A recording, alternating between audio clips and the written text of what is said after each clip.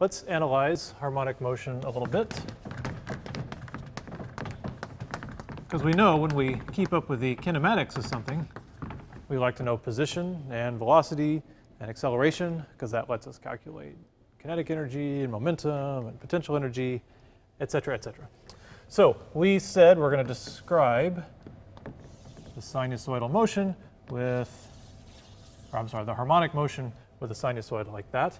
So this is the position x versus time t, and we know that it does this because we know it goes up and down. Let's see, the formula we use to describe this motion is x is some amplitude a times sine, and then we had 2 pi times the frequency times time. So we can look at it and ask ourselves a few things. We could say, let's put a circle um, on the uh, maximum position. So everywhere that it goes to this largest position is basically the peaks of the sinusoid. Here it's at plus a, here it's at minus a, plus a, minus a. We could also say, let's put an open square on the maximum velocity or speed, uh, velocity, uh, let's say speed. So we don't have to worry about up or down. Let's just say how fast, the, the magnitude, the speed. So the maximum speed, one way to get it is to know the formula for the speed. Right? So here we have a description of the position versus time. You can actually write the speed versus time. You're really taking a derivative of this if you know how to do that. And that is 2 pi a f, and then the sine turns into cosine. 2, and this part stays the same, 2 pi f t. Okay? So, if you were to ask where's the maximum speed, that would occur wherever the cosine function is at its maximum. Or you can think in terms of speed uh, being the, the derivative or the slope of the position curve, and that would tell you the speed, maximum speed occurs here, and it occurs here, and basically it occurs when it goes through the axis, when it goes through the, the middle of the axis. That's when the slope is maximum. And if you were to plot this function, this is a cosine, where would it have? Let's see, it would have a maximum here. Sure enough, it would have a maximum here, and it would go down, and it would have a minimum here. Right, and it would go up and have a maximum here. So this does describe, in the right way, the, the maximum speed. The magnitude of the maximum velocity, the speed, the maximum speed, is this, 2 pi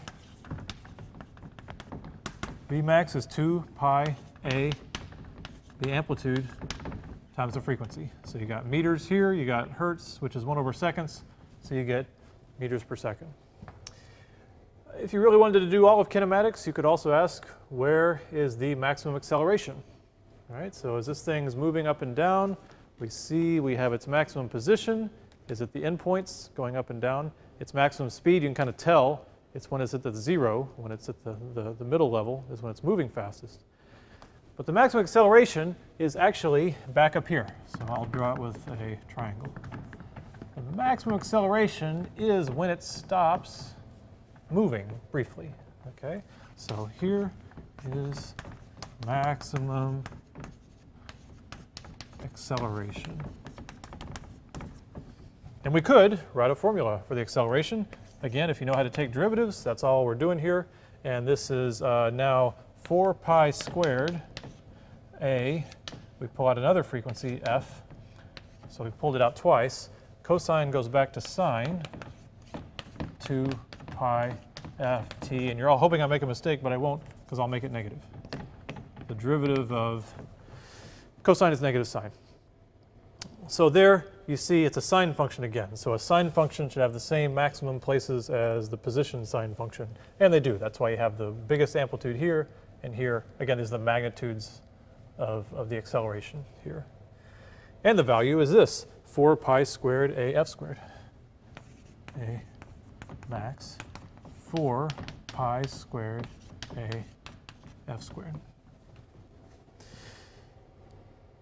And you can also see, it even makes sense that at this point, that's the maximum uh, x position up, positive, but it says it's the maximum acceleration down, and it is accelerating down, right? You can see that uh, it's moving up, the velocity is up, but the velocity is decreasing, decreasing, decreasing. So the acceleration is down. So at this point, the a vector would be down like that. The position vector would be up. The velocity vector would be zero. At this point, the velocity vector is, is down, it's moving down, which you can see from the slope. So all this stuff about the motion uh, kind of makes sense. I've done all this describing the motion as a sine, and you can do the whole thing describing it as a cosine. Okay, so a sine says at time equals zero, uh, the position is zero. But you could also say, maybe I'll start at a different time, and maybe I'll have the case that um,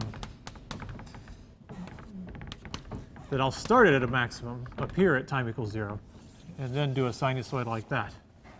And you can.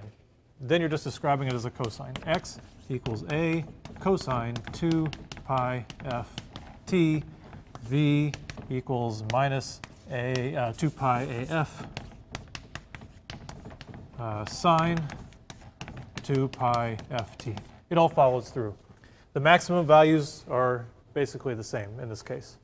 Um, so if your book, if the book you're using describes it as sine or describes it as cosine, it's really the same. The difference is just how does it start? What's happening at, at, at time equals zero? There are even ways, if you introduce a phase factor, to have it start here. We won't get into that. We're just going to do the basics. What are the amplitudes and how fast is it going?